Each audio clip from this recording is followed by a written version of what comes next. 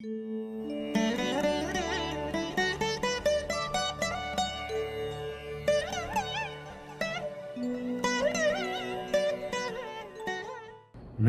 வணக்கம். எல்லோரும் நன்றாக இருப்பீர்கள். சமீப காலமாக இந்த பாவக சுபத்துவம் என்பதை பேச ஆரம்பித்திருக்கிறேன். ஏற்கனவே கிரகங்களுடைய காரக சுபத்துவத்தை பற்றி நிறைய வீடியோக்கள் போட்டிருக்கிறோம்.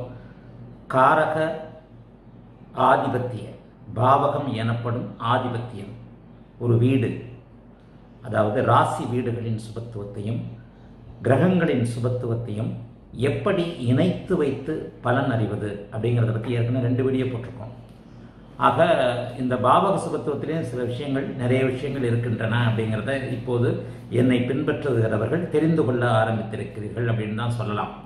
உதாரணமாக இந்த பாவக சுபத்துவத்தில் தான் வந்து இப்போ யூடியூப் வீடியோக்களில் யூடியூப் லைவ் சமீபத்தில் இப்போ கிட்டத்தட்ட ஒரு நூறு நாட்களை நான் கடந்து நம்முடைய லாக்டவுனுக்கு அப்புறம் தினசரி வீடியோ தினசரி லைவ் பண்ணிடுறேன் இல்லையா யூடியூப்பில் அந்த ஒரு இரவு ஏழு மணிலேருந்து எட்டு மணிக்குள்ளே நான் பண்ணுகின்ற அந்த ஒரு மணி நேரம் லைவ் வீடியோவில் ஒருவருடைய வேலையை தொழிலை பற்றி சொன்ன உடனே அவருடைய ஜாதக அமைப்பை முன்கூட்டியே சொல்லிவிடுகிறேன் அப்படிங்கிறது தெரியும்.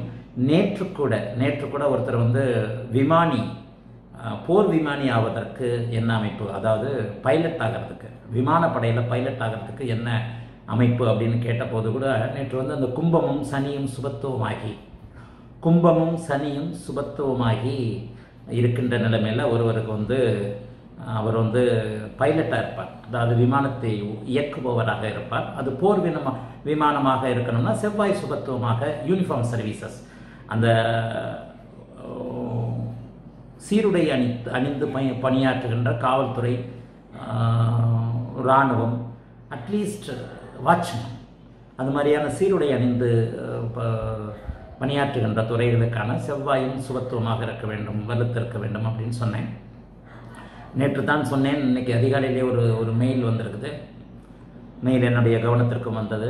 நியூசிலாந்தில் என்னுடைய மகன் பைலட்டாக இருக்கிறான். என்னுடைய மகன் நியூசிலாந்தில் அதை அப்படியே கூட படிக்கலாம். நியூசிலாந்தில் குருஜி நேற்று ஈவினிங் தான் அது நம்ம போட்டது.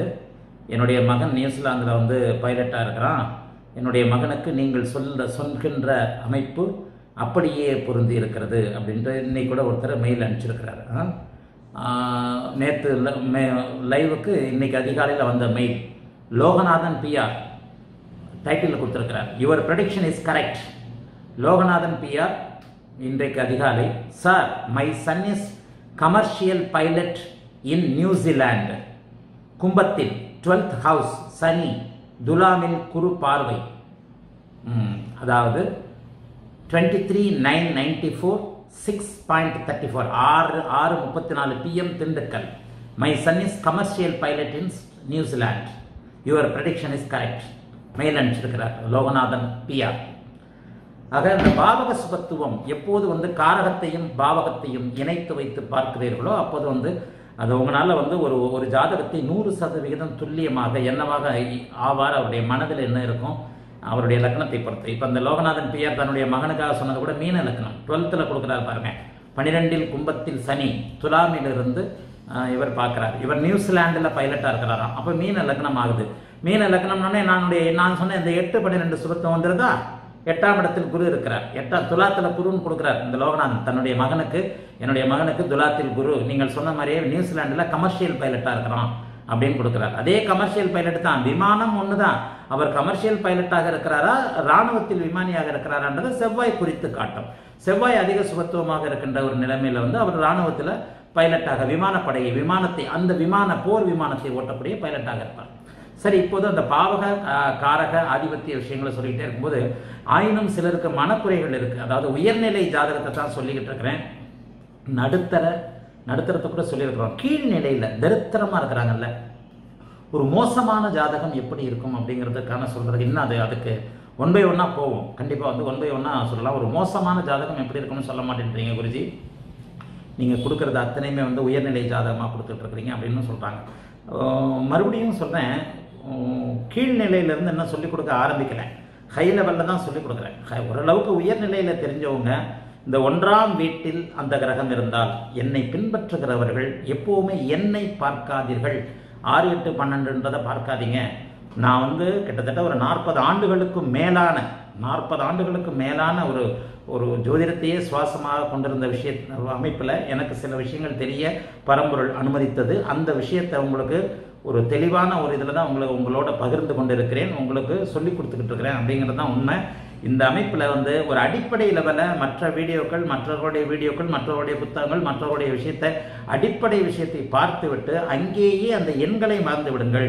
அதான் நான் அடிக்கடி சொல்லுவேன். இப்போ சமீபத்தில் நடந்த அஸ்ட்ரோவிஷன் ஜூம் ஆன்லைன் கிளாஸஸில் கூட அதான் சொன்னேன். நம்பரை மறந்துடுங்க எட்டில் சுக்கரன் ஏழில் புதன் ஆறில் குரு இதெல்லாம் மறந்துடுங்க இதை மறந்துட்டு அந்த பாவக காரக ஆதிபத்திய விஷயங்களில் நீங்கள் வந்து அந்த சுபத்துவ சூட்சும விஷயங்களை எப்போது புரிந்து கொள்கிறீர்களோ அப்போது உங்களுக்கு ஜோதிடம் அப்படியே மடை திறந்த வெள்ளம் போல் அப்படியே அப்போ தான் கண்ணு கண்ணு வந்து அப்படியே பளிச்சுன்னு தெரியறதை போல சில விஷயங்களை வந்து க- உங்களுக்கு சொல்லிக் கொடுக்க ஆரம்பிக்கும். ஜோதிடத்தில் வந்து ஒரு உயர்நிலை புரிதல் என்பது அப்போது மட்டுமே உங்களுக்கு கிடைக்கும் அப்படிங்கிறது தான் உண்மை.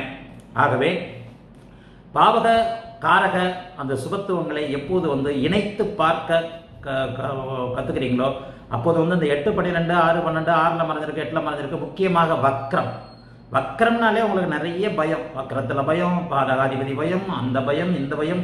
ஒரு படத்தில் கமலஹாசன் சொல்லுவார் இல்லையா? கண் விழித்தால் அந்த பயம் இந்த பயம் அதை கண்டால் பயம் இதை கண்டால் பயம் இந்த பயம் அந்த பயம்ன்ற மாதிரி ஜோதிடத்தை கற்றுக்கும் போதே அதில் பயம். ஏன்னா ஆரம்பத்தில் அடுத்தடுத்த விஷயங்களில் சில பேருடைய காணொளிகளை கேட்டு சில பேருடைய வீடியோக்களை கேட்டுட்டு சில பேருடைய புத்தகங்களை படிச்சுட்டு அப்படியே பயந்து போறீங்க. அப்படி இருக்கும் இப்படி இருக்கும்ன்ற. அதெல்லாம் கிடையவே கிடையாது. நான் என்றைக்காவது வக்கரத்தை பற்றி ஒரு ஒரு இதாக பேசியிருக்கிறேன்னா என்றைக்காவது வக்கரத்தை பற்றி ரொம்ப அதிகமாக பேசியிருக்கிறேன்னா இல்லை எட்டு பன்னிரெண்டாம் இடங்களோடு பேசியிருக்கிறேன்னா ஜோதிடம் வந்து ஒரு உயர்நிலை புரிதல். இந்த உயர்நிலை புரிதலில் இப்போ கூட இந்த நூறு நாள் இதில் இன்றைக்கு காலையில் பேசின ஒரு அமெரிக்காவில இருந்து ஒரு பேசின ஒரு பெண் கிட்டத்தட்ட அப்பா வந்து இதை எந்த காரணத்தை கொண்டு நிறுத்திடாதீங்க கிட்டத்தட்ட ஒரு மன அழுத்தத்தில் இருக்கிற எல்லாருக்கும் ஜோதிடம்னா என்னன்னே தெரியலன்னா கூட உங்களை ஸ்மார்ட் டிவியில் பார்த்துக்கிட்டு இருக்கிறோம். என்னம்மா டைம் உனக்கு அப்படின்னு கேட்டேன். இங்கே ஏழு மணினா இங்கே வந்து காலையில் பத்தரை மணின்னு சொல்லிச்சு அமெரிக்காவில் காலையில் பத்தரை மணி. டென் தேர்ட்டி டைம் எனக்கு. நீங்கள் ஏழு மணிக்கு இங்கே இரவு ஏழு மணிக்கு ஸ்டார்ட் பண்ணுறீங்க எனக்கு காலையில் பத்தரை மணி. நானும் கணவரும் குடும்பத்தோடு உட்காந்து பார்க்குறோம். எல்லாரும் ஃபேமிலி மெம்பர்ஸ் எல்லாருமே உட்காந்து ஸ்மார்ட் டிவியில் பார்க்குறோம். கணவருக்கு பத்தரை மணிக்கு home home work home to work work to home அந்த ஒர்க் டு ஹோம் எல்லாருமே ஜனவரி வரைக்குமே இனிமேல் இங்கே தான் வீட்டு வீட்டில் தான் வேலை. ஆனால் எல்லாருமே வந்து அந்த ஒரு மணி நேரம் எந்த ஒரு விஷயத்தையுமே பார்க்கறதில்ல. அவரும் வேலையை பார்த்துக்கிட்டே மேக்சிமம் உங்களுடைய லைவை தான் பார்க்குறாரு. இத்தனைக்கும் எங்கள் குடும்பத்தில் யாருக்குமே ஜோதிடம் தெரியாது. உங்களுடைய சில ஒரு பாசிட்டிவான சில விஷயங்களுக்காகவே இந்தியாவில் அவங்கள பற்றி கேள்விப்பட்டு நாங்கள் வந்து பார்த்துக்கிட்டு இருக்கோம். கிட்டத்தட்ட நான் ஒரு நாள் கூட ஈவன் இத்தனை லைவ் வீடியோக்களையும் நான் வந்து மொத்தமாக பார்த்து கொண்டிருக்கிறேன். இப்போ தான் வந்து ஒரு பத்து பதினஞ்சு நாளாக தான் எனக்கு நீங்கள் எல்லாரும் டிவியில் பார்க்குறீங்கன்றதே தெரிஞ்சுட்டு இருக்கு. எனக்கு வந்து நான் வந்து எல்லாருமே ஃபோனில் தான் யூடியூப்னாலே ஃபோன் தானே. ஃபோனில் தான் பார்ப்பீங்கன்னு நினச்சிக்கிட்டு இருந்தேன். இப்போ தான் வந்து அந்த யூடியூப் வந்து டிவிலேயே போட்டு பார்க்க முடியும் அப்படிங்கிறது எனக்கே இப்போ தான் தெரியுது அந்தளவுக்கு ஒன்றும் தெரியாத ஆளாக இருக்கிறமேனு யோசி யோசனையாக இருக்குது சரி. இப்போ இந்த வீடியோவில் மறுபடியும் ஒரு உயர்நிலை பாவக காரக சுபத்துவத்திற்கு எடுத்துக்காட்டாக இருக்கக்கூடிய ஒரு ஜாதகத்தை சொல்லப் போகிறேன். இந்த ஜாதகர் மிகவும் வயதானவர். ஒரு தொண்ணூற்றி மூன்று வயது பெரியவரை பற்றி சொல்லப் போகிறேன். இன்றும் உயிருடன் இருக்கிறார். கிட்டத்தட்ட ஆக்டிவாகவே இருக்கிறார். அப்படி ஒன்றும் பெருசாலாம் வந்து தொண்ணூற்றி மூன்று வயசு தான் தொண்ணூற்றி மூன்று வயதானாலும் தன்னுடைய வேலைகளை தானே செய்து கொள்ளும் அளவிற்கு பாத்ரூம் கூட தானே போகிற அளவுக்கு தானே எடுத்து சாப்பிடும் அளவிற்கு தானே ஆரோக்கியமாக நல்ல சிந்தனை திறனுடன் பேச்சு திறனுடன் நல்ல சிந்தனை திறனுடன் தன்னை அறிந்து கொண்டு ஒரு நல்ல தொண்ணூற்று வயது வயோதிக முதுமை அளவிற்கு தான் அவர் இருக்கிறாரே தவிர அவரே தன்னுடைய வேலைகளை செய்து கொள்கிறார் தானே சாப்பிட்டுக் கொள்கிறார் நல்ல நினைவு சக்தி ஞாபக சக்தி இருக்கு.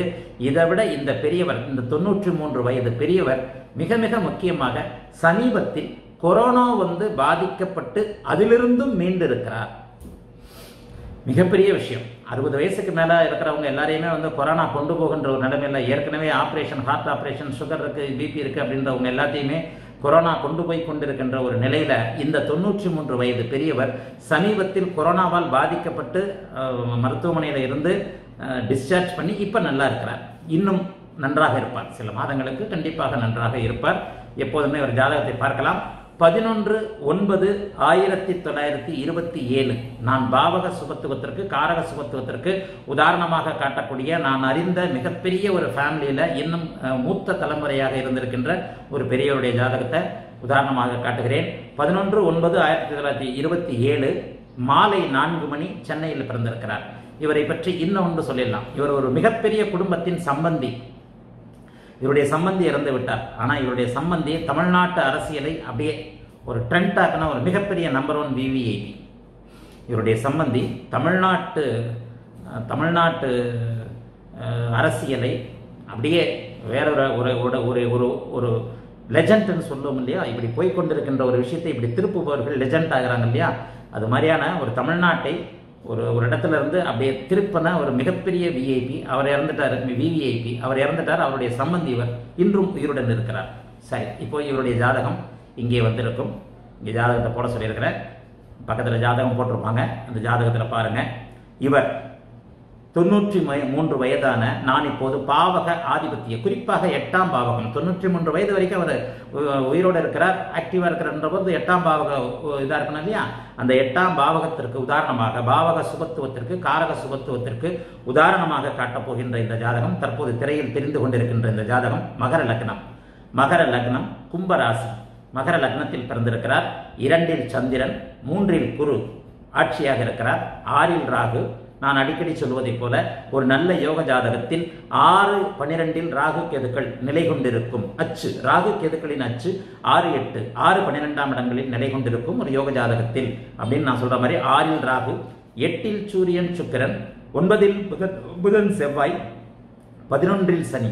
லக்னாதிபதி பதினொன்றாம் வீட்டில் இருக்கிறார். பதினொன்றில் சனி பன்னிரெண்டில் கேது. இதுதான் அவருடைய ஜாதகம். ஜாதகம் திரையில் இப்போது தெரிந்து கொண்டிருக்கிறது. சரி.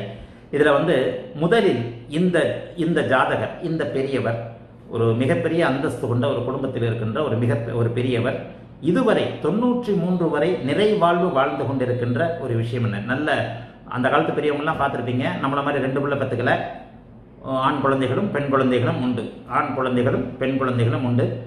பேரான் பேரன் பேத்திகள் நிறைவாக உண்டு. எல்லா வகையிலும் நிறைவாக இருக்கிறார். பேத்தியின் திருமணத்தை பார்த்திருக்கிறார். கொள்ளு பேத்தியின் விஷயங்கள் எல்லாமே பார்க்க போகிறார். எல்லா வித வகை வகைகளிலும் ஒரு ஆசீர்வதிக்கப்பட்ட ஒரு நிறைவான அமைப்பை கொண்டிருக்கிறார் அப்படிங்கிறது தான் உறுதியாக சொல்ல வேண்டும். அப்போ இந்த ஜாதகத்தில் உள்ள பாவக சுபத்துவம் காரக சுபத்துவம். இப்போ நம்ம சொல்லிடுறோம் இல்லையா? அவர் எந்த ஒரு ஜாதகத்தில் சுபத்துவமான விஷயங்கள் இருக்கிறதோ அவர் ஒருவர் ஒருவரின் லக்னாதிபதி லக்னம் இது போன்ற விஷயங்கள் சுபத்துவமாக இருக்கின்ற நிலைமையில் அடிக்கடி என்ன சொல்கிறேன் அவருக்கு அனைத்து விஷயங்களுமே தானே ஒரு ராஜபாட்டையில் சிவ- சிவப்பு கம்பளம் விரித்தார் போல ஒரு விஷயங்கள் நடக்கும் அப்படின்னு சொல்லிடுறேன் இல்லையா? ஒரு சிவப்பு கம்பளம் விரித்தார் போல விஷயங்கள் நடக்கும். முதல்ல நீங்க நிறைய பேர் வக்கரத்தை பத்தி பயப்படுறீங்க இல்லையா? வக்ரம். இங்க ரெண்டு கிரகம் வக்ரம். குருவும் வக்ரம் சுக்கிரனும் வக்ரம். சுக்கிரன் அதை விட மிக மிக முக்கியம் என்னன்னா இவருடைய மனைவியும் உயிரோடு இருக்கிறார். இவருடைய மனைவியும் இவரை விட ஒரு நான்கு ஐந்து வயது குறைந்த நிறை வாழ்க்கை வாழ்ந்து கொண்டிருக்கும் தீர்க்க சுமங்கலியான அந்த பெண்மணியும் இப்போது உயிரோடு தான் இருக்கிறார். அவங்களுக்கும் ஒரு எண்பத்தெட்டு வயசோ என்னமோ ஆகுது. எண்பத்தி ஏழு எண்பத்தெட்டு வயசு ஆகுது இருவருமே ஓரளவுக்கு ஆரோக்கியமாக இருக்கிறார்கள். ரெண்டு பேருக்குமே கொரோனா வந்து ரெண்டு பேருமே வந்து ஹாஸ்பிட்டல் அட்மிட் ஆகி இப்போ ரெண்டு பேருமே ரெக்கவர் ஆகி வீட்டுக்கு திரும்ப வந்திருக்கிறாங்க. அப்போ இந்த அமைப்பில் மனைவியும் இருக்கிறார். சுக்கரன் வக்கரமாகியும் மனைவி தீர்க்க அமைப்பாக அதுக்கு அந்த அதுக்காக தான் அந்த வக்கரத்தெல்லாம் வந்து உங்களுக்கு சில விஷயங்களை விளக்கி சொல்லலாம் அப்படின்னு இருக்கிறேன். ஆக அந்த இங்கே குரு வக்கரம் சுக்கிரன் வக்கரம். முக்கியமாக சொல்ல போனால் இரண்டு சுபகிரகங்களும் வக்கரமாக இருக்கின்றன. சூரியனுக்கு ஆறு ஏழு எட்டில் இருக்கின்ற செவ்வாய் சனி குரு இந்த மூன்று கிரகங்களும் நிச்சய வக்கரமாகும் அப்படிங்கிறது ஒரு விதி. அதே போலவே எப்போது சூரியனை விட்டு தாண்டி இருபத்தி நான்கு டிகிரிக்கு மேலே தாண்டி போக போகின்ற ஒரு நிலைமையில் அப்படிப்பட்ட ஒரு ஒரு ஒரு நிலையில வந்து சுக்கிரன் வக்கரம் அடைவார் அப்ப அந்த அந்த நிலையில அவர் இருக்கிறார். ஆக சுக்கிரன் எட்டில் மறைந்திருக்கிறார். மறைந்து வக்கரமாக இருக்கிறார். பொதுவாக சுக்கிரன் வக்கரமானவர்களுக்கு நிறைவான மன வாழ்க்கை அமைவதில்லை அப்படின்னு நானே எழுதியிருக்கிறேன். ஒரு ஜோதிடமனம் தேவரகசியம் ஜோதிடமனம் மகாற்பதம் நூலில் பார்த்தீங்கன்னா இந்த இந்த பாயிண்ட் ஏதோ ஒன்று எழுதியிருப்பேன். சுக்கிரன் என்னுடைய அனுபவத்தில் சுக்கிரன் வக்கரமானவர்களுக்கு நிறைவான மன வாழ்க்கை அமைந்ததில்லை. சரி அப்படின்னா வக் ஆகியிருக்கிறது அதற்கு என்ன நிவர்த்தி? இங்கே பாருங்கள் இந்த ஜாதகத்தில் பாருங்கள் நான் அடிக்கடி சொல்லுகின்ற அந்த பௌர்ணமி யோகம் நான் அடிக்கடி சொல்லுகின்ற ஒரு பௌர்ணமி யோகம் அந்த பௌர்ணமி சந்திரனுக்கு எட்டில் சுக்கிரன் வக்கரமாகி சந்திர அதியோக அமைப்பில் சுக்கிரனும் புதனும் இருக்கிறார்கள். அதாவது சந்திரனுக்கு நேர் எதிரில் சுக்கிரன். சந்திரனுக்கு நேர் எட்டில் புதன் இருக்கிறார்கள். ஆக இந்த சுக்கரன் வக்கரம் அடைந்தாலும் சுபத்துவம் என்கின்ற பௌர்ணமி சந்திரன் பௌர்ணமி சந்திரன் குருவுக்கு நிகரான சுபன். அப்ப அந்த பௌர்ணமி சந்திரனின் என்ன நட்சத்திரம்? புரட்டாதி நட்சத்திரம். பௌர்ணமிக்கு பக்கத்தில் இருக்கின்ற சந்திரன். பௌர்ணமிக்கு பக்கத்தில் இருக்கின்ற தொண்ணூறு சதவிகித ஒளித்திறன் தொண்ணூத்தி ஐந்து சதவீத ஒளித்திறன் சொல்லிடுவேன். புரட்டாதி நட்சத்திரத்தில் இருக்கின்ற தற்போது இவருக்கு செவ்வாய் தசை சனி செவ்வாய் தசையில் சனி புக்தி நடக்க போகுது. செவ்வாய் தசையில் சனி புக்தி வருகின்ற டிசம்பர் மாதம் இவருக்கு ஆரம்பிக்க இருக்கிறது சனி இவருக்கு இரண்டு குடையவர் ஒன்று குடையவர் ஒன்று இரண்டு குடையவர் புரிஞ்சுக்கங்க. லக்னாதிபதி இரண்டு குடைய மாரகாதிபதி. சனி. அதனை அடுத்து புதன் ஆரம்பிக்கப்படுறாரு புதன் ஆட்ட- அட்டமாதிபதி. அப்போ அதுக்குள்ளே அந்த கால்குலேஷன் உங்களுக்கு போட்டுக்கிட்டாலே மரகாதிபதியா அட்டமாதிபதியா அப்படின்றது புரிய வந்துருக்காரு செவ்வாய் தசையில சனிபக்தி பதினைந்து பன்னிரெண்டு டிசம்பர் பாஞ்சாந்தேதி ஆரம்பிக்க போகுதுன்னு நினைக்கிறேன். அஸ்ட்ரோஷன் சாஃப்ட்வேரில் பார்த்தீங்கன்னா இவருக்கு டுவெண்ட்டி த்ரீயோட தசாபக்தியை முடிச்சிருப்பாங்க. ரெண்டாயிரத்தி இருபத்தி மூணோட தசாபக்தி அமைப்புகளே முடிந்திருக்கும். சரி. ஒரு நிறைவான வாழ்க்கை. சரி அப்போ அந்த பாவக சுபத்துவம் அப்படிங்கிறத ஏன் வந்து இந்த மாதிரியான ஜாதகங்களை கிட்டத்தட்ட ஏ- எத்தனையோ முறை ஆராய்ச்சி எவ்வளோ ஜாதகங்களை ஆராய்ச்சி பண்ணி தான் அந்த பாவக ஆதிபத்திய சுபத்துவங்களை சொல்கிறேன். சரி அப்போ இவருக்கு எந்த இப்போ இந்த அமைப்பில் அனைத்து பாவகங்களையும் எடுத்துக்கலாம். பாவக சுபத்துவம் எட்டாம் பாவகத்தை பற்றி தான் குறிப்பாக சொல்ல போகிறேன் முதல்ல எட்டாம் பாவகத்தை சொல்லிடுவோம். தொண்ணூற்றி மூன்று வயது வரை இன்னும் நிறைவாழ்வு வாழ்ந்து கொண்டிருக்கிறார். நல் முடிவு இன்னும் அடுத்த வருஷத்துக்கு மேலே தான் அவருக்கு இருக்க போகிறது. ஒரு நல்ல ஒரு முடிவு ஒரு தீர்ப்பு திருப்தியான ஒரு வாழ்க்கை. பேரன் பேத்திகள் குழந்தைகள் மகன்கள் மகள்கள் அவ்வளவு பேரும் அவர் மேலே பாசமாக இருக்கின்ற ஒரு மிக மிக ஒழுக்கமானவரும் கூட எந்த விதமான கம்ப்ளைண்ட்டும் இல்லாத மிக மிக ஒழுக்கமான ஒரு நிறைவாழ் வந்திருக்கிறார். இவரை பார்க்குறவங்க எல்லாருமே என்ன சொல்லுவாங்கன்னா பா மாதிரி மனுஷனே இல்லைன்னுவாங்க. அப்போ முக்கியமாக இத்தனையும் அவருக்கு அமையக்கூடிய அமைப்பில் இருக்கின்ற ஆயுள் என்கின்ற அமைப்பு என்ன? எட்டாம் பாவகம். தொண்ணூறு வயது தாண்டார் அப்படின்னாலே நான் என்ன சொல்லுவேன்? லக்னம் லக்னாதிபதி சுபத்துவம். எட்டு அட்டமாதிபதி சுபத்துவம். ஆயுள் காரகன் சனி சுபத்துவம். இவ்வளோதான் சொல்லுவேன். சூட்சுமவலு பாவகிரகமாக இருந்தா. இதைத்தான் நான் வந்து அந்த அட்ட எட்டாம் பாவகத்திற்கும் அதாவது ஆயுளுக்கும் சொல்லப்படக்கூடியது. சரி இங்கே பார்த்துருவோம். மகர லக்னம். ஜாதகத்தை பாருங்க. மகர லக்னம். அதற்கு அடுத்து நவாம்சத்தையும் போட சொல்கிறேன் மகர லக்னம். லக்னாதிபதியே லக்க சனி ஆகிறார் அப்போ சனி வந்து பங்கமற்ற குருவின் பார்வையில் இருக்கிறார். அதாவது எந்த விதத்திலையும் புதனும் சந்த புதனும் செவ்வாயும் தான் அவரை வந்து பார்க்குறாங்க. செவ்வாய் அவருக்கு நண்பர் தான் புதன் ஒரு உச்ச கிரகம் தான். ஆக இங்கே குரு முழு ஒளித்திறனுடன் கூடிய குரு பங்கமற்ற குரு லக்னாதிபதியையும் ஆயுள் காரகனுமாகிய சனியை பார்க்கிறார். ஆயுள் காரகனும் இதமான சனியை பார்த்து லக்ன ராசிநாதன் ரெண்டு பேருமே சனிதான். லக்னாதிபதியும் அவர் தான் ராசிநாதனும் அவர்தான். லக்னாதிபதியும் ராசிநாதனுமான சனியை இங்கே முழு ஒளித்திறனுடன் கூடிய குரு பார்க்கிறார். ஒன்பதாம் பார்வையால பார்த்து லக்னாதிபதியும் ஆயுள் காரகனுமாகிய சனி. ரெண்டு ரெண்டுமே அவருக்கு தான் சுபத்துவமாயிட்டார். சரி எட்டாம் இடம். எட்டாம் அதிபதி சூரியன் அங்கேயே ஆட்சியாக இருக்கிறார். அந்த எட்டாம் இடத்தில் சுக்கிரன் எனும் சுபக்கிரகம் அங்கே அவர் சுப எட்டு எட்டாம் இடத்து அதிபதி சுபக்கிரகம் அஸ்தகங்கம் பெற்று சூரியனை சுபத்துவமாக்கி எட்டாம் அதிபதியை சுபத்துவமாக்கி அங்கே அமர்ந்து பௌர்ணமி சந்திரனின் பார்வையில் எட்டாம் அதிபதியும் எட்டாம் வீடும் இருக்கிறார்கள். வந்துச்சா? அஷ்டமாதிபதி சுபத்துவம் அட்டமஸ்தானம் சுபத்துவம் லக்னாதிபதி சுபத்துவம். வந்துச்சா? ஆக எட்டாம் இடத்துல சுக்கிரன். அப்ப சுக்கிரன் அஸ்தங்கம் ஆகக்கூடாதுல்ல அதற்கு பதிலாக அங்கே பூரணச்சந்திரனின் பார்வை அவருக்கு இருக்கிறது. ஆக பூரணச்சந்திரன் எட்டாம் இடத்தை பார்த்து எட்டாம் இடம் சுபத்துவமாகி எட்டாம் அதிபதி ச- சூரியன் சுபத்துவமாகி லக்னாதிபதியும் சுபத்துவமாகி லக்னம் ஒன்று தான் அவருக்கு அந்த முழு சுபத்துவ அமைப்பில் இல்லை. லக்னத்தை குறு பார்க்கவில்லை லக்னத்தை சுவர் பார்க்கவில்லை. ஆனால் லக்னத்தை பாவரும் பார்க்கல. சுபத்துவமான லக்னாதிபதி அதாவது சுபத்துவமான லக்னாதிபதி தான் மூன்றாம் பார்வையை பார்க்கிறார். ஆக இத்தனை அமைப்புகள் இருப்பதால் தான் இவர் இன்றும் தொண்ணூற்றி மூன்று வயதாகியும் ஒரு நிறைவாழ்வு வாழ்ந்து கொண்டிருக்கிறார். இங்கே வேற எந்த நம்பரையும் கொண்டு வந்துட வேண்டாம். ஒன்னாம் அதிபதி பதினொன்றில் இருக்கிறார் ஒன்பதாம் அதிபதி ஒன்பதில் இருக்கிறார் சுக்கிரன் எட்டில் மறைந்திருக்கிறார். இந்த எட்டில் சுக்கிரன் மறைஞ்சிருக்கிறார்ன்றதுலாம் இங்கே வேலைக்கே ஆகாது. எப்போது நான் சொல்லுகின்ற சுபத்துவ அமைப்புகளை புரிந்து கொள்கிறீர்களோ அப்போது அங்கே அந்த அந்த அந்த விஷயம் வந்து நிச்சயமாக அந்த எப்போ வந்து சுபத்துவத்தை புரிஞ்சுக்கிறீங்களோ அப்போ அந்த ஆறு எட்டு பன்னெண்டுலாம் மறந்துடுவீங்க. இங்கே பார்த்தால் என்ன சொல்லுவீங்க? ஐந்து குடையவர் எட்டில் மறைவு. ஐந்தாம் இடத்திற்கு சனி பார்வை. இவருக்கு ரெண்டு ஆண் குழந்தைங்க.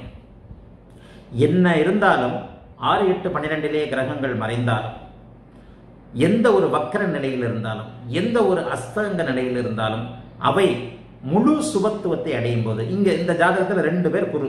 ஒருத்தர் பௌர்ணமி சந்திரன் இன்னொருத்தர் நிஜமான குரு. ஆக அந்த ரெண்டு குரு ரெண்டு குருவுமே மிகப்பெரிய சுபத்துவ அமைப்பை செய்கிறார்கள். செவ்வாய் சனியை குரு பார்க்கிறார். செவ்வாய் சனியை குரு பார்க்கிறார். சூரியன் சுக்கிரனை முழு ஒளித்திறனுடன் கூடிய நிலவு பார்க்கிறது. அதைவிட முக்கியமாக புதன் சந்திர அதியோகத்திலும் சுக்கரன் சந்திர அதியோகத்திலும் இருக்கிறார்கள். ஆக இங்கே பூரண ஒரு யோகா அமைப்புகள் வந்து விடுச்சு இல்லையா? ஐந்தாம் அதிபதி எட்டில் மறந்திருக்கிறார் வக்கரமாகி இருக்கிறார் அஸ்தமனமாகி இருக்கிறார். பயப்படவே தேவையில்லை. வக்கரமாக இருக்கட்டும் இப்போ கூட அதுதான் போட்டோம். வக்கரத்திற்கும் அஸ்தமனத்திற்கும் உள்ள நிலை நிவர்த்தி என்ன அப்படின்னு போட்டோம். சுபத்துவம் என்பதே. பாவகிரகமாக இருந்தால் சூட்சும வலு இயற்கை சு சு- சுபகிரகமாக இருந்தால் சு சுபத்துவம் மட்டும். இந்த சுபத்துவம் என்பதே சகல விதமான தோஷ அமைப்புகளுக்கும் பகை நீச்சம் கிரகணம் மறைவு அஸ்தங்கம் அத்தனை விஷயங்களுக்கும் ஒரு நிவர்த்தியாக இருக்கின்றதை அடிக்கடி நான் சொல்லி சொல்லிக் கொண்டிருக்கிறேன் அதற்கு இந்த அமைப்பும் ஒரு உதாரணம். ஆக இப்போ இப்போ நவாம்சத்தை போட சொல்கிறேன் பாருங்கள் இப்போ நவாம்ச கட்டமும் இங்கே வருது. சுபத்துவத்தின்ற வந்துட்டாலே நீங்கள் நவாம்சத்துக்கும் வந்துடணும். ராசி கட்டத்தில் எப்படி இருக்கோ ராசி கட்டம் தான் முக்கியம். நவாம்சத்திலும் அது வந்து அதை உறுதிப்படுத்திக் கொள்வது அதனுடைய படிநிலையை தெரிந்து கொள்ள வேண்டியதற்கு அவசியம். இப்போ நவாம்ச கட்டம் வந்திருக்கும் பாருங்கள் நவாம்சத்தில் இவருக்கு மிதுன லக்னம். நவாம்சத்தில் இத்தனை நம்பர்னு பார்க்கக்கூடாது. நவாம்சத்தில் நான்காம் இடத்துல இங்கே குருசனியும் இருக்கிறாருன்னு சொல்லவே கூடாது. நவாம்சம் மிதுன லக்னம் கன்னியில் குருசனி கன்னியில் குருசனி அதனை அடுத்து ரிஷபத்தில் கன்னியில குருசனி அதாவது நவாம்சத்திலும் லக்னாதிபதி சனி சுபத்துவமாக இருக்கிறார். குருவோடு இணைந்து தன்னுடைய நண்பரோடு நல்ல வீட்டில் அமர்ந்து லக்னாதிபதி நவாம்சத்திலும் சுபத்துவமாக இருக்கிறார். துலாமில் சுக்கிரனுடைய வீட்டில் ராகு சுபத்துவமாக இருக்கிறார். சூரியனும் சுக்கிரனும் இங்கே சுக்கிரன் மட்டும்தான் கொஞ்சம் பலவீனமாக இருக்கிறார்.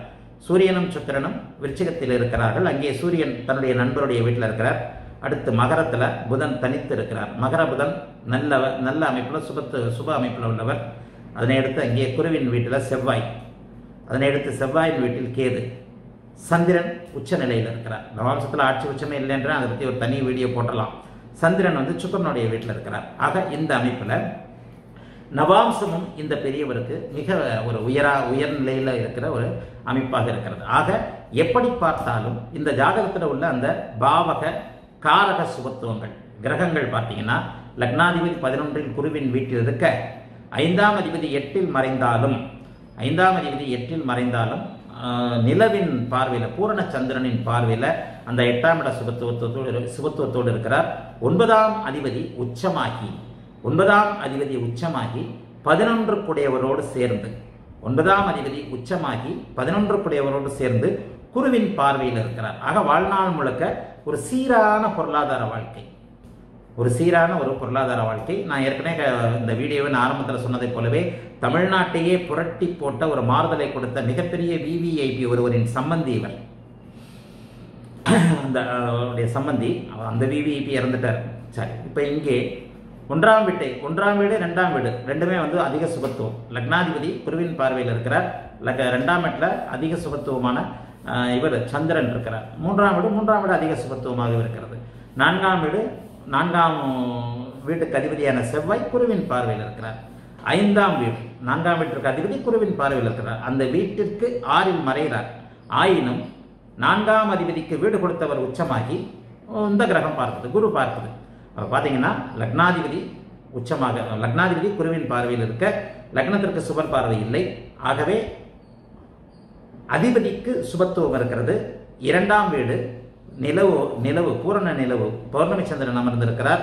சுபத்துவமாக இருக்கிறார். மூன்றாம் இடத்துல இயற்கை சுவரான குருவே இருக்கிறார். நான்காம் வீட்டு அதிபதி அதற்கு ஆறில் மறைந்தாலும் சுபத்துவமாக குருவின் பார்வையில் இருக்கிறார். ஐந்தாம் அதிபதி அதற்கு கேந்திரத்தில் லக்ன எட்டில் மறைஞ்சிருந்தாலும் பௌர்ணமி சந்திரனுடைய பார்வையில் இருக்கிறார். ஆறாம் வீடு ஆறு பன்னிரெண்டு அச்சுக்களில் தான் ராகு கேதுக்கள் இருக்கணும்னு அடிக்கடி சொல்கிறேன் ஆறு பன்னிரெண்டு அச்சுக்களில் ராகு கேதுக்கள் இருக்க வேண்டும் அப்படிங்கிற விதிப்படி ஆறாம் வீடு தனித்துவமாக ராகுவால். எதிரிகள் கடன் நோயற்ற வாழ்க்கை. எதிரிகள் கடன் நோயற்ற வாழ்க்கை. இங்கே ஆறாம் அதிபதி வந்து உச்சம். ஆனால் அவர் ஒன்பதாம் அதிபதியாகத்தான் உச்சம். ஆறாம் வீட்டிற்கு கேந்திரத்தில் புதன் வலுத்திருக்கிறார். அவ்வளவுதான். ஆனால் அவர் ஒன்பதாம் அதிபதி. அங்கே அவர் உச்சம் தான் ஆறாம் வீட்டில இருந்து அவர் ஆட்சியாக இருந்திருப்பார். ஆக ஆறாம் வீட்டோடு அவர் தொடர்பு கொள்ளவில்லை. இரு ஆதிபத்தியம் உள்ள கிரகங்கள் எந்த வீட்டோடு அதிகம் தொடர்பு கொள்ளுகிறதோ அந்த வீட்டின் பலனை எண்பது சதவிகிதமும் அடுத்த வீட்டின் பலனை இருபது சதவிகிதமும் செய்யும்னு சொல்லியிருக்கிறேன் இல்லையா? இதுக்கு முன்னாடி கூட ஒரு வீடியோ போட்டோம். இரு ஆதிபத்தியம் உள்ள கிரகங்கள். அது வந்து பிரீமியம் வீடியோ போட்டோம்னு நினைக்கிறேன். இது ஒரு முக்கியமான வீடியோன்றதுனால இதை நம்ம பொது வீடியோவாக போடுகிறோம். ஆக இந்த அமைப்பில் ஆறாம் வீட்டு அதிபதி அங்கே செவ்வாயோடு சேர்ந்து ஒன்பதாம் வீட்டில் உட்காந்து செவ்வாயோட ஒன்பதாம் வீட்டில் உட்காந்து செவ்வாயோடு சேர்ந்து குருவின் பார்வையில் ஒன்பதாம் அதிபதியாகத்தான் இருக்கிறார். ஆறாம் வீட்டில் இல்லை. எப்போவுமே மகர் லக்னத்திற்கு புதன் போய் பன்னெண்டில் போய் மறைஞ்சிட்டாருன்னா ஆறாம் வீட்டை வலுப்படுத்திடுவார். அவ்வளோதான் புதன் தசை ஆரம்பித்தாலே கடுமையான கடன் தொல்லைகளை நோய் தொல்லைகளை கொடுப்பார். அந்த இடத்துல வந்து அவர் ஆறாம் வீடு அதிபதியாகத்தான் பலன் தருவார். ஆக இந்த அமைப்பில் ஆறாம் வீடு ஏழாம் அதிபதி. ஏழாம் வீட்டிற்கு எட்டில் தான் மறைகிறார். ஆனால் அவர் நிலவு புதன் இந்த அமைப்பாக இருக்கிறார். பூரண சந்திரனாக இருக்கிறார். நல்ல மனைவின்னு சொன்னேன் இல்லையா? காரகன் வக்கரமாயிட்டார். அஸ்தமனமாயிட்டார். சுக்கரன் களத்திர காரகன் வக்கரமாயிட்டார் அஸ்தமனமாயிட்டார். ஆயினும் பூரணச்சந்திரனின் பார்வையில் இருக்கிறார். நான் சொன்ன சுபத்துவம் வந்துருச்சு. ஸ்தானாதிபதி களத்திர ஸ்தானாதிபதி அவரே சுபராக இருக்கிறார். பூரணச்சந்திரனாக இருக்கிறார். பௌர்ணமிக்கு பக்கத்தில் இருக்கின்ற சந்திரனாக இருக்கிறார். ஏழாம் பாவகம் குருவால் பார்க்கப்படுகிறோம் வந்துருச்சா? அடுத்து ஆறாம் பாவகம் சுபத்துவமே இல்லை பாருங்க. எந்த பாவகம் சுபத்துவமாக இருக்க வேண்டுமோ அந்த பாவங்கள் மட்டும்தான் சுபத்துவமாக இருக்கு. ஆறாம் பாவகம் சுபத்துவம் ஆயிடுச்சுன்னா ஆறாம் பாவகம் அதிகப்படியான சுபத்துவம் கடன்களிலே வாழ்வு நோய் வாழ்வு அப்படி இப்படின்னு போயிடும். அப்போ அந்த பாவகம் மட்டும் சுபத்துவமாகாமல் ராகுவால் கெட்டு போயிருக்கிறது. ஒரு நிறை வாழ்வுக்கான அர்த்தம் இதுதான். அடுத்து ஒரு கடங்காரனுடைய ஜாதகமா? கடங்கா கடன்லேயே வாழ்ந்த ஒரு வேலை விஜய் விஜய் மல்லையா ஜாதகம்லாம் கிடைச்சா பார்ப்போம். அவரும் வந்து ஒரு சொகுசா இருந்துட்டு தானே நம்ம எல்லாருக்கும் தெரிஞ்ச மாதிரி ஓடி போனாரு. விஜய் மல்லையா மாதிரியே நிறைய பேர் இருக்கிறாங்க. அந்த மாதிரியான ஒரு கடன்காரர்கள் ஜாதகம் கிடைச்சா கூட ஆறாம் பாவக சுபத்துவத்தை அடுத்து சொல்லுவோம். இது எட்டாம் பாவக சுபத்துவத்துக்கு தானே ஒரு உதாரணமா எடுக்கிறோம். ஆக ஆறாம் பாவகம் கெட்டு போயிருக்கிறது. ராகுவின் இருப்பால் பலவீனமாக்கி இருக்கிறது. அந்த ஆறாம் பாவகத்திற்கு வேற எந்தவித பார்வைகளும் இல்லை. அது வந்து ஒரு கெட்டு போயிருக்கு. அதனால தான் அவருக்கு தொண்ணூறு வயது தொண்ணூற்றி மூன்று வயதில் கொரோனா வந்திருக்கிறது. கொரோனா வந்து இருபது நாள் ஆஸ்பத்திரியில் இருந்துட்டு திரும்பி வந்திருக்கிறார். அப்போ அந்த ஆறாம் பாவகத்துடைய அமைப்பும் தற்போது உங்களுக்கு புரிந்திருக்கும் இல்லையா? ஆறாம் பாவகம் எப்படிப்பட்ட ஒரு சூழலில் இருந்தால் இதாக இருக்கும்ன்றது இப்போ புரிஞ்சிருக்கும். ஏழாம் பாவகம் சொல்லிட்டேன் சுபத்துவம். எட்டாம் பாவகம் குருவின் இது குருவுக்கு நிகரான பௌர்ணமி சந்திரனின் பார்வை சுக்கரனின் இருப்பு தற்போதும் வாழ்ந்து கொண்டிருக்கிறார். எட்டாம் அதிபதியே அங்கே சுபத்துவத்தோடு இருக்கிறார். ஒன்பதாம் பாவகம் மீண்டும் குரு பார்க்கிறார். ஒன்பதாம் பாவகாதிபதி உச்சமாக இருக்கிறார். ஒன்பதாம் பாவகமும் ஒன்பதாம் பாவகாதிபதியும் பாக்கியம் நிறைவான வாழ்க்கை தர்ம சிந்தனை. தனக்கு முன்னோர் இவங்க அப்பா எல்லாரும் இவங்க அப்பா தாத்தாலாம் பெரியார். இவருடைய தாய் தான். நான் எப்பவுமே சொல்லுவேன் பௌர்ணமியில் பிறந்தவர்கள் சிம்மம் வலுத்திருக்க பிறந்தவர்கள் ஒன்பதாம் இடம் வலுத்திருக்க பிறந்தவர்களுடைய தகப்பனை வெளியே சொன்னால் தெரியும் தாத்தாவை வெளியே சொன்னால் தெரியும். இவருடைய தாய் தகப்பனும் தாத்தாவையும் வெளியே சொன்னால் அவருடைய ஊர்னு தெரியும். சரி அடுத்து பத்தாம் பாவகம். பத்தாம் பாவகாதிபதி எட்டில் மறைந்திருக்கிறார். பத்தாம் பாவகாதிபதி எட்டில் மறைந்திருந்தாலும் அவர் இங்கே சுகத்துவமாக இருக்கிறார். பத்தாம் பாவகத்திற்கு செவ்வாசனை தொடர்பு இல்லை. பத்தாம் பாவகாதிபதி எட்டில் மறைந்து அங்கே அப்படியே பூரண நிலவின் பூ- பூரண சந்திரனின் தொடர்பில் அமர்ந்து பத்தாம் பாவகத்திற்கு எந்த விதமான பாவ தொடர்புகளும் செவ்வாய் சனி தொடர்புகளும் இல்லாத நிலைமையில ஒரு நிரந்தரமான தொழில் கிட்டத்தட்ட ஒரு எழுபது வயது வரைக்கும் அறுபத்தஞ்சு எழுபது வயசு வரைக்குமே அவருக்கு இருந்தது. இப்பதான் ஒரு இருபது வருஷமா பிள்ளைங்க வந்து அப்பா நீங்க வீட்டில் உட்காருங்க. ஒரு இருபது ஆண்டு காலமாகத்தான் உங்களுக்கு என்ன பிடிக்குமோ அதை செய்யுங்க. அவருக்கு என்ன? குரு சனி அமைப்பு வந்துருச்சு. சுவாமியை பிடிக்கும் தெய்வத்தை பிடிக்கும் தெய்வ கோயிலுக்கு போகிறது பிடிக்கும் தெய்வத்தை வணங்குவது பிடிக்கும். அந்த உங்களுக்கு பிடித்தமான வேலை மகன்கள் இரண்டு பேரும். குழந்தைகள் அதாவது குரு வலுத்தாலே குழந்தைகள் நன்றாக இருக்கும். ஐந்தாம் இடமும் ஐந்தாம் அதிபதியும் குருவும் வலுக்கட்டும். மகன்கள் இருவரும் இன்றைக்கும் தகப்பன் கிழித்த கோண்டை தா கிழித்த கோட்டை தாண்ட மாட்டாங்க. இன்றைக்கும் ஏதாவது ஒன்றுக்கு முதல் தகவல் அப்பா இதை செஞ்சிடுறோமா? செய்வதெல்லாம் இவர்களாக இருந்தாலும் தன்னுடைய தகப்பனிடம் ஒரு தகவலையும் சொல்லிவிட்டு செய்ப்பா. அவர் ஒண்ணுமே இல்லைன்னா கூட செய்ப்பா. இன்றும் வழக்கமாக வைத்திருக்கிறாங்க கூட்டு குடும்பமா இருக்கிறாங்க. பெரிய விஷயம்.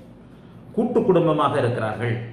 இன்றைக்கும் தகப்பனை அந்த அந்த இதில் தான் வச்சிருக்கிறாங்க. இன்றைக்கும் தகப்பனை ஒரு மிகப்பெரிய ஒரு உயர்நிலையில் மகன்கள் இருவரும் வச்சிருந்து மகன்களுக்கே வயசாச்சுல அறுபத்தஞ்சு வயசு எழுபது வயசு மகன்களுக்கே அறுபத்தஞ்சு வயசுக்கு மேலே ஆகுது. அவர்கள் இன்றைக்கும் அவர்களும் த- அவங்க தாத்தாவானாலும் இன்றைக்கும் தகப்பன் என்ன சொல்கிறாரோ அதுதான். அப்படின்றத கேட்டுட்டு தான் தகப்பனை வந்து மதிச்சுட்டு தான் அடுத்த வேலை. அதற்கு காரணம் அந்த அந்த பௌர்ணமி யோகம் சூரியன் சுபத்துவம் ஐந்தாம் இடம் சுபத்துவம் குரு சுபத்துவம் அப்படிங்கிறது தான் உண்மை. ஒரு அதிக சுகத்துவமான ஒரு இடத்த காட்டணுன்றதுக்காக தான் காட்டுறேன். நம்ம பாலத்துவ அமைப்பு உள்ள ஜாதகங்களையும் பார்த்துருவோம். ஜோதிடம்னா ரெண்டு ரெண்டு பக்கமும் தானே. பாசிட்டிவும் நெகட்டிவும் தானே பார்த்துருவோம். அப்போ பத்தாம் இடம் அதிக சுபத்துவம் சரி பதினொன்றாம் இடம். பதினொன்றாம் இடத்தை குரு பார்க்கிறார். லாபஸ்தானம். பதினொன்றாம் அதிபதியை குரு பார்க்கிறார். பதினொன்றாம் இடத்தையும் குரு பார்க்கிறார். பதினொன்றாம் அதிபதியையும் குரு பார்க்கிறார். சரி அடுத்து பனிரெண்டு. பனிரெண்டாம் அதிபதி தானே குருவாகி பனிரெண்டாம் அதிபதி அந்த வீட்டுக்கு கேந்திரத்தில் சுபத்துவமாக இருக்கிறார். பன்னிரெண்டாம் வீட்டில் ராக இல்லை பன்னிரெண்டாம் வீட்டில் கேது இருக்கிறார். பன்னிரெண்டாம் வீடு பொதுவாக எதை சொல்றதுன்னா வெளிநாட்டு பயணம் விரயம். ஆறு எட்டு பன்னிரெண்டு தான் இதுன்னு சொல்லிடுறமே. எட்டாம் இடம் சுபத்துவமாக தான் ஆயுள். ஆறு பன்னிரெண்டு சா பாவத்துவம். பன்னிரெண்டாம் இடம் சுபத்துவமாக இருக்கிறதும் ஓரளவுக்கு நன்மை தான். செலவு செய்தால்தான் இதை பெற்றுக்கொள்ள முடியும். சொகுசை அனுபவிக்க முடியும் அப்படின்னு ஒரு ஒரு கார் வாங்குறோம் லக்ஸரியஸ் கார் வாங்குறோம். பணம் செலவு பண்ணாதானே கார் வாங்கி அதில் போக முடியும். இவர் அப்படி ஒன்றும் எளிமையானவர் தான். பன்னிரெண்டாம் இடம் இங்கே ராகு கேதுக்களை கேதுவால் கேதுவோடு சேர்ந்து பன்னிரெண்டாம் இடத்துல சுப பார்வை இல்லாமல் செவ்வாயுடைய பார்வை தானே இருக்குது பன்னிரெண்டாம் இடத்துல வந்து பதினொன்றாம் அதிபதி ஒன்பதாம் வீட்டில் இருந்து பார்க்கிறார். அப்போ அந்த அமைப்பில் வந்து பன்னிரெண்டாம் இடத்துல இவர் கொஞ்சம் கை சுருக்கம் தான். பன்னிரெண்டாம் இடம் வலுத்திருக்கின்ற நிலைமையில் அவர் வந்து இதாக இருப்பார். சுபத்துவமாக வலுத்திருக்கிற விரையாடி. நல்ல செலவாளியாக இருப்பார். அதே நேரத்தில் அதோடைய குருவும் வலுத்திருந்தா தொட்டனைத்தூரும் மணற்கேணி அங்கே த- மணற்கேணி என்னமோ ஒன்று சொல்லுவாங்களே டக்குன்னு சின்ன வயசில் படிச்சது மறந்து போச்சு. இறைக்கிற கிணறு தான் சுரக்கும் அப்படின்ற அமைப்பில் இருக்கும். ஆனால் இப்போ இந்த அமைப்பில் அவர் இல்லை. அவர் எனக்கு நெ- மிக நெருக்கமாக தெரியும். இந்த பெரியவரை எனக்கு மிக நெருக்கமாக தெரியும். என்ன மிக நெருக்கமாக தெரியும். ஆக அந்த அமைப்பில் கொஞ்சம் சிக்கனக்காரர் தான். பொதுவாகவே அந்த காலத்து மனிதர்கள் வந்து இந்த இன்றைய ஒரு ஒரு தலைமுறைக்கு மூத்த தலைமுறை இது போன்ற ஒரு தே- தொண்ணூறு வயது தாண்டியவர்கள் கொஞ்சம் ஓரளவுக்கு கட்டுச்சட்டாக தான் சிக்கனமாகத்தான் இருப்பார்கள். அதற்கு இவரும் விதிவிலக்கல்ல ஆக இப்போது நான் சொன்னதைப் போல அருமையாக அத்தனை காரக பாவக சுகத்துவத்தை ஒரு வாழும் ஒரு மனிதனின் எடுத்து எடுத்துக்காட்டு. எவ்வளோ அழகாக வந்து நம்முடைய வேத ஜோதிடம் சில விஷயங்களை புரிய வைக்கிறது அப்படிங்கிறத வந்து நீங்கள் ரொம்ப தெளிவாக புரிஞ்சுக்கலாம். இதனை அடுத்து போடப்படுறது இப்போ நவாம்சத்திலே வந்து உங்களுக்கு சில விஷயங்கள்லாம் புரிஞ்சிருக்கும். ஒரு ஒரு ஒரு ஜாதகம் எல்லோரும் இப்படி பிறக்கிறதில்லை. இவர்கள் இது போன்றவர்கள் அத்திபுத்தார் போல ஆயிரத்தில் ஒருவராக பத்தாயிரத்தில் ஒருவராக லட்சத்தில் ஒருவராகத்தான் இருக்கிறார்கள். இவ இன்றைக்கு தமிழ்நாட்டில் வந்து தொண்ணூறு வயசு தாண்டவங்க எத்தனை பேர் இருப்பாங்கன்னு பார்த்தா ஆயிரத்தில் ஒருவர் கூட இருக்க மாட்டாங்க. ஒரு பத்தாயிரத்தில் ஒருவராக இருக்கலாம் லட்சத்தில் ஒருவராக இருக்கலாம். அதில் ஒரு பெரியவராக இவர் இருப்பார். அதிலும் ஒரு நல்ல பேக்ரவுண்டு உள்ள ஒரு பெரியவர் ஒரு மிகப்பெரிய அந்தஸ்துள்ள ஒரு ஒரு தமிழ்நாட்டையே திசை மாற்றி காட்டிய ஒருத்தருடைய சம்பந்தி அப்படிங்கிறதுனால தான் வந்து இவருடைய இவருடைய ஜாதகம் ஒரு கவனத்தில் பெறுகிறது. அதே நேரத்தில் தன்னை வெளிப்படுத்த கொள்ள வெளிப்படுத்தி கொள்ள விரும்பாதவர். எந்த லெவலையும் அவங்க ஃபேமிலி அவங்கெல்லாம் ரொம்ப அடக்கமாக வெளியில் வரும்போது இன்னார்னு சொல்லிக்காமே வருவாங்க. அந்த அளவுக்கு ரொம்ப அடக்கமானவர்கள். ஆக இந்த அமைப்பில் நீங்கள் புரிந்து கொள்ள வேண்டியது பாவக சுபத்துவம் மூணுன்ற தலைப்பில் தான் அது வருது. எட்டாம் பாவக சுபத்துவம்னு போட்டுறேன். எட்டாம் பாவகம் சுபத்துவம்னாலும் இவருடைய ஜாதகம் அனைத்து பாவகங்களும் அனைத்து கிரகங்களும் எத்தனைக்கு எத்தனை சுபத்துவமாக இருக்குது இதில் நான் சொன்னதில் முக்கியமாக புரிஞ்சுக்க வேண்டியது வக்கரத்தை பற்றி பயப்பட தேவையில்லை. எத்தனையோ ஜாதகங்கள் பார்த்துருக்கிறேன். வக்கர அமைப்பில் சுபத்துவமாக இருந்தால் நிவர்த்தி அஸ்தமனத்திற்கும் சுபத்துவமாக இருந்தால் நிவர்த்தி. ஆக ஒரு ஜாதகம் உண்மையில் சுபத்துவமாக இருந்தால் எத்தகைய நல்ல அமைப்புகளை தரும் என்பதற்கு இந்த ஜாதகமும் ஒரு உதாரணம். அடுத்து வேறொரு தலைப்பில் நிச்சயமாக சந்தி சந்திப்போம். எல்லோரும் நன்றாக இருப்பீர்கள். வாழ்த்துக்கள்.